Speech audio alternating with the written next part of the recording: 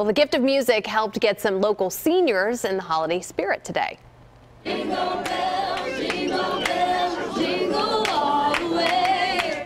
R&B group Xscape and a few other special guests visited Mercy Life Senior Center in West Philadelphia.